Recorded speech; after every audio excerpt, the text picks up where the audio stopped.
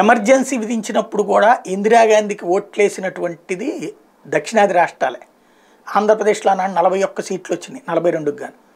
కాబట్టి కాంగ్రెస్ సెంటిమెంట్ అనేటువంటిది దక్షిణాదిలోనే వర్కౌట్ అవుతుంది. కానీ ఆంధ్రప్రదేశ్ తెలంగాణలో కొంత తెలంగాణలో వర్కౌట్ అయ్యే అవకాశం ఉంటుందేమో. ఆంధ్రాలో ఇక కోలుకోవడం కష్టమే. ఆంధ్ర ఒరిస్సా లాంటి చోట్ల. కేరళను తర్వాత కర్ణాటకలో అయితే అవకాశం కనబడుతుంది. కర్ణాటకలో ఇప్పుడు దూకుడుగా వ్యవహరిస్తోంది కాంగ్రెస్ పార్టీ. అక్కడ ఏకంగా నూట ఇరవై నాలుగు మందితో తొలి జాబితా విడుదల చేసేసింది. కర్ణాటక శాసనసభ ఎన్నికల్లో పోటీ చేసే అభ్యర్థులు తొలి జాబితాను కాంగ్రెస్ అధిష్టానం శనివారం ప్రకటించింది. మొత్తం నూట ఇరవై నాలుగు మంది అభ్యర్థులు తొలి జాబితా ఖరారు చేసింది. ఏఐసీసీ ఎన్నికల ఇన్ఛార్జ్ ముకుల్ వాసనికి పేరు రూపొందించిన జాబితాను బెంగళూరులో కేపీసీసీ అధ్యక్షుడు డీకే శివకుమార్ విడుదల చేశారు.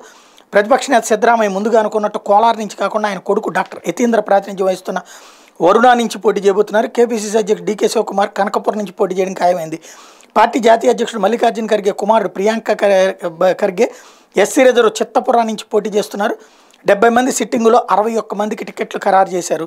దీంతో అక్కడ తొమ్మిది మందికి దూరమైనట్టయింది. ఇంకో పక్కన సిద్ధరామయ్య కనుక అక్కడ గెలిస్తే ప్రమాదం కాబట్టి సిద్ధరామయ్యకి దెబ్బ కొట్టడంలో కూడా డీకే శివకుమార్ సక్సెస్ అయ్యారు. ఎందుకంటే కర్ణాటక ఎన్నికల ఖర్చు అంతా కూడా డీకే శివకుమారే భరిస్తున్నారు.